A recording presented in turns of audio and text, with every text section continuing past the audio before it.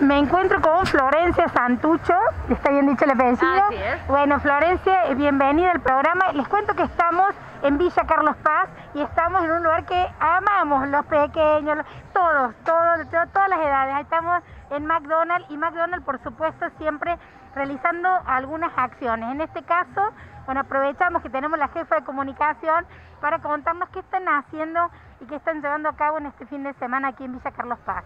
Bueno, sí, la verdad muy contentos de estar acá. Para nosotros el verano es una oportunidad muy linda para poder estar con toda la familia, con chicos, con grandes, Tal con cual. jóvenes.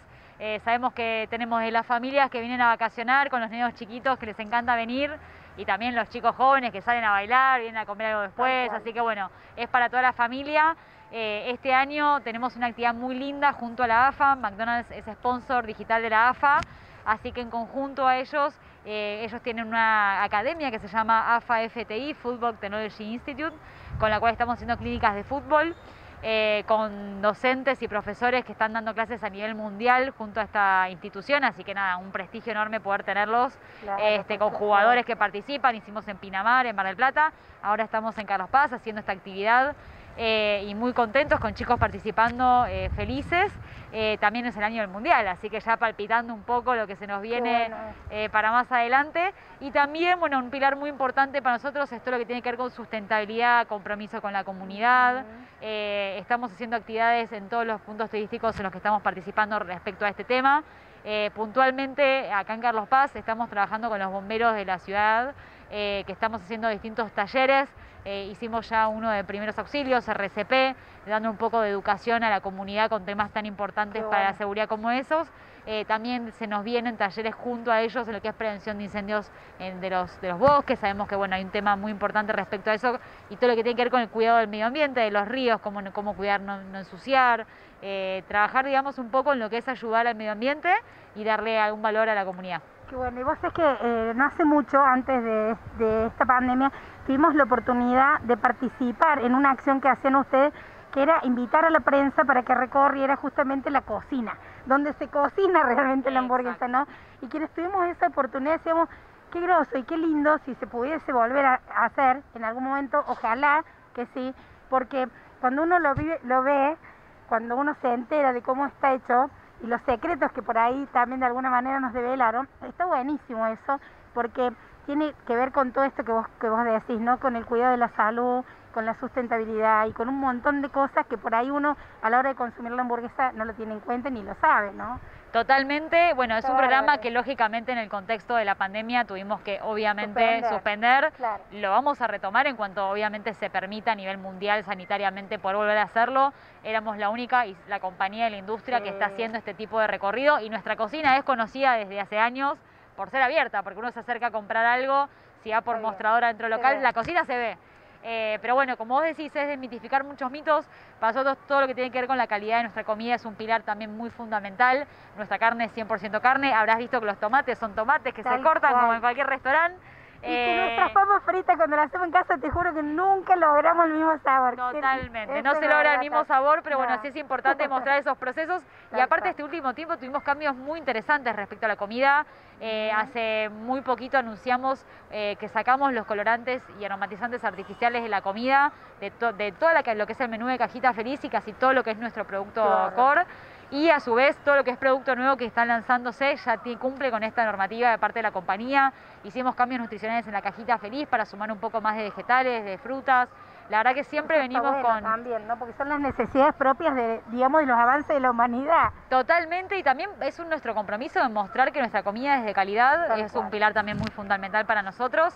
Así que bueno, sí, oja- ojalá podamos recibir a todos en las cocinas próximamente, eh, pero bueno, también un poco poder mostrar este tipo de, de iniciativas, como vos decís, nos compromete. Y también un poco lo que es más para atrás del producto, o sea, eh, que nuestros proveedores, por ejemplo, hicimos un trabajo muy fuerte, como habrás visto, no están más los sorbetes en los locales, eh, nuestros envases, como también envases de postres, de bebidas, eh, migramos a sacar a salir del plástico un solo uso, que es tan dañino para el medio ambiente, y Tal pasamos a, a envases, por ejemplo, certificados FSC, que cuidan y vienen de fuentes renovables.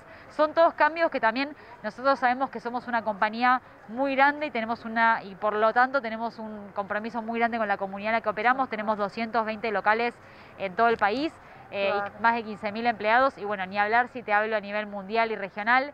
eh, entonces sabemos que nuestra escala es grande, que nosotros sacar un sorbete implica toneladas de plástico de un solo uso que se deja de, producir. Eh, así que para nosotros todo ese tipo de cosas y cambios y acciones hacen un impacto enorme. Esto de reinventarse a medida que también bueno los cambios se van produciendo y las necesidades cambian de los clientes porque hoy también los clientes tienen otras exigencias. Y bueno, y esta acción que se está llevando a cabo, te cuento que Villa Carlos Paz tiene un promedio de 365 eventos deportivos al año a razón de un evento por, por día, ¿no?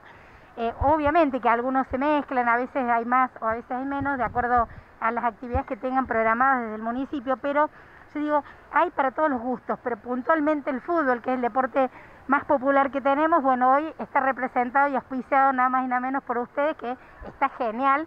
¿Y esto era para niños de qué edades? A partir de los 6 años y hasta los 11.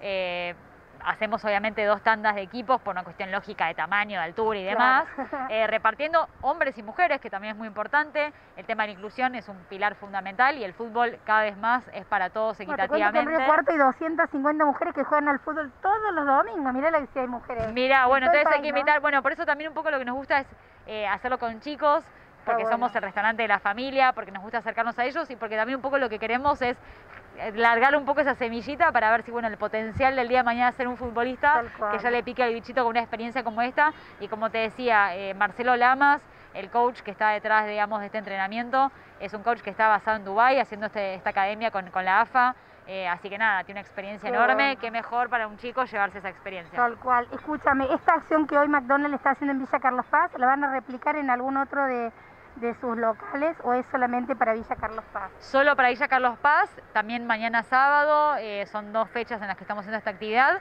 Sí lo hicimos también en Pinamar y en Mar del Plata. Claro, pero ya acá por lo menos quedamos. Acá quedamos, sí, obviamente.